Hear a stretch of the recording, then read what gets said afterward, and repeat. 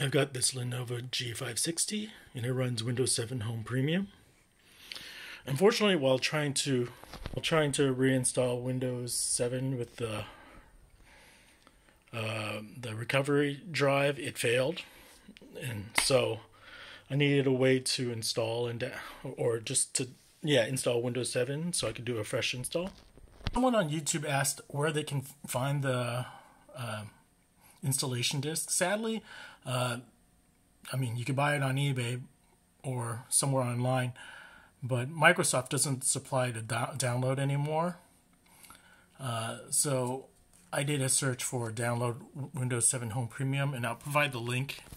The one that I used was Internet Archive. It's not official, so um, again, because Microsoft is not willing to uh, provide the official ISO, we're kind of on our own with this. And so this is what I used. I don't.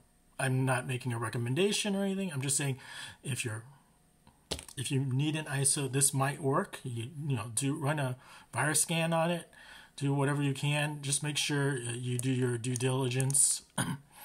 so once you click on this link, it takes you to here. Archive, details, Windows 7, Home Premium, 64-bit. And so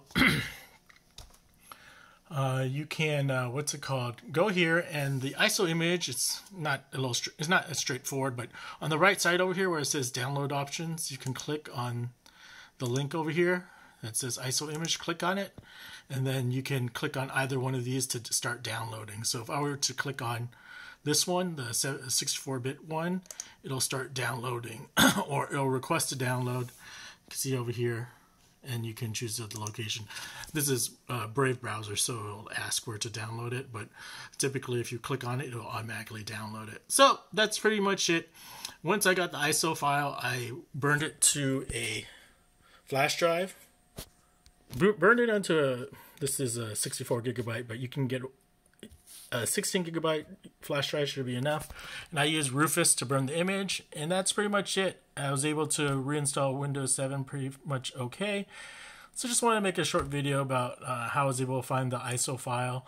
Uh, there are other ways of getting it. This is just one way, and so if you, you don't want to deal with the clutter of installing some app that will get you the uh, ISO, and again, I'm not sure how uh, secure and safe this file is. I installed it in my computer, it worked, but it could have some type of spyware on it, so keep that in mind.